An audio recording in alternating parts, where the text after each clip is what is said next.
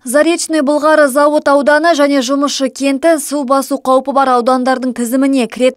Осы орайда төтенше жағдайлар басқармасының мамандары мен жастар ресурсы орталығының еріктілері тұрғындарға ақпараттық жаднамалар таратты. Белсенділер жұмысты Заречный кентіндегі жыл сайын қызыл суға тап болатын көшелерінен бастады.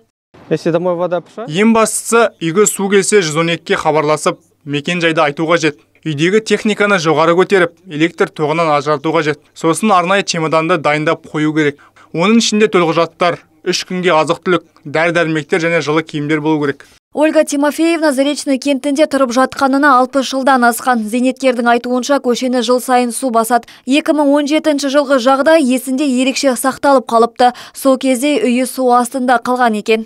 В 2017 сильно затопило. 2017 жылы көшемізді көп су басты, әрине қиын болды. Ал өткен жылы төңіректі су шайды, енді судың деңгейі одан көп болса, жағдай күрделенейін деді. Сол себепті қауіпсіздік шараларына немқұрайлы қарауға болмайды.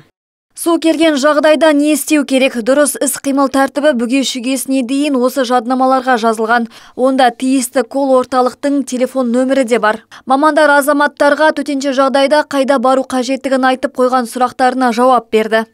У нас открытый сбор гуманитарной помощи. біз облыстық қазақстан халқы ассамблеясында гуманитарлық көмек қабылдауға арналған орталық аштық тұрғындар азық түлік және киім кешек әкеле алады біз оны су басып қиын жағдайға тап болған азаматтарға таратып береміз Су тасқынына байланысты Заречный кенті ерекше бақылауда. Қазір мұнда суға қарсы қорған болатындай етіп құм салынған қаптар төселіп жатыр. Ақпараттық түсіндіру жұмысы осы айдың соңына дейін жалғасады. Аталған іс шараға жүзге жуық ерікті жұмылдырылған. Гүлден Сембаева, МТРК.